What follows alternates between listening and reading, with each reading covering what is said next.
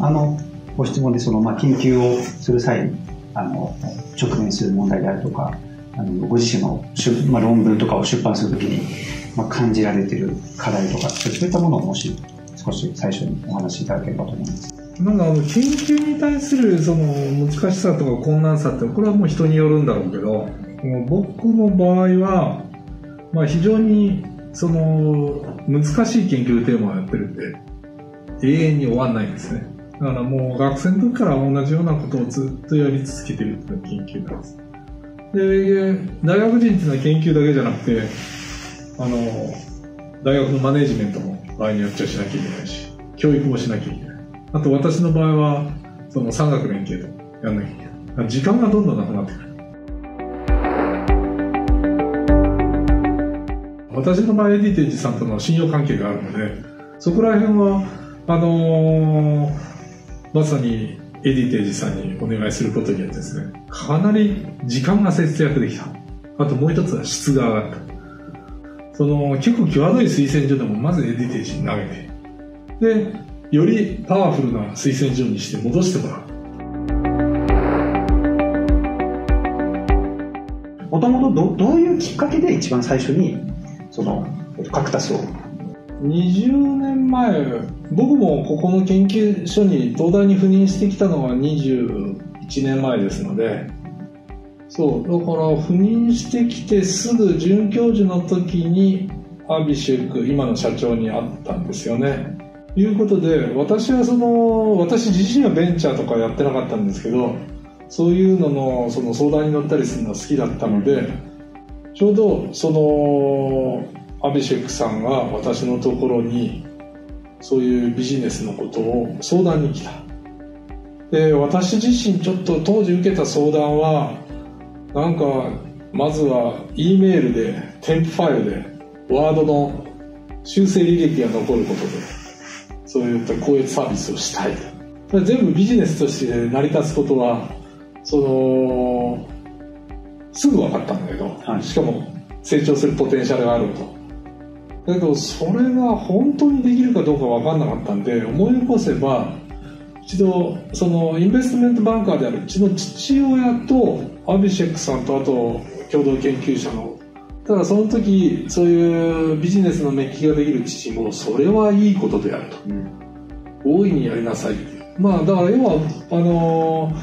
まあ彼の熱意でもに対してあとビジネスプランに対してみんなが支えると、はい、ただ最初の6ヶ月まさか客が僕だけだとは。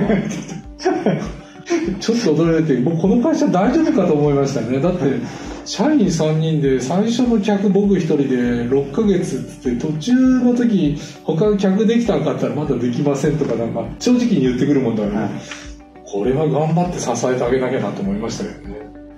あすごいですね。それから今はおかげさまでおそらく業界で一番ぐらいになる成長させていただいたと思うんですけどその20年前にまさか今みたいな感じになってるなんて先生想像さえできなかったぐらいですよ、ね、全くできないね、うん、ただビジネスとしてはあの成長するしあの可能であるってことはね僕もまでいつもこういろいろフィードバックいただいたりビジネスアイデアいただいたりこうすべきだとかいろいろなこうお客様以上のことをしていただいたんですけどそれをこうややろうと思思った動機っていうのは一つはねそのそういういろいろビジネスプランを僕はそのサジェッションしたりねあのあとやってることのちょっとサービスの悪さを改善指示したりそれはやってますけど一番僕皆さんがすごいなと思うのはね僕はこういうことやりたい。さっき言ったトゥラウンドプルーフリーディングとかあと最近は推薦状やたら書くんだけどそのクオリティを上げたいとか。そしたらとりあえずやってくれる。でビジネスにならないものもあるけどあの一部の部分はビジネスにちゃんと持っていってる。これ素晴らしいと思う。ちゃんとビジネス化してるからね。サービス化するっていうさ要は客の嫌だとか不平不満とかこうあってほしいってことを全部ビジネスに持っていこうというこの努力。これは僕は感心すると思うともに尊敬して、うん、ありがとうございます使っていってほしいのでいくらでもクレームを言ってくださいっていうスタンスですけど、うん。でもやっぱそこを言っていただける方は愛がある、うん。そうじゃない。こんな会社どうでもいいと思ってる人はもう使わないと終わっちゃうのでそういうクレームっていうのはあのいいいい意味でのクレームっていうのはぜひ今後出していただきたいなと思いますけれど。僕ね嬉しいのはねその20年前そのアビジェクトの客としてやった時にねエディテージとかいう言葉は誰も知らない。ただ今例えば生産技術研究所でも若手とかいろんなところにねその英語の論文の話とかになったらねよく聞くんですよ。エディテージって知ってる？知ってるってみんな言いますから。ねえ、うん、だけどすごいですよね。20年間でここまで成長するとはね。そう。いやもう岡部先生の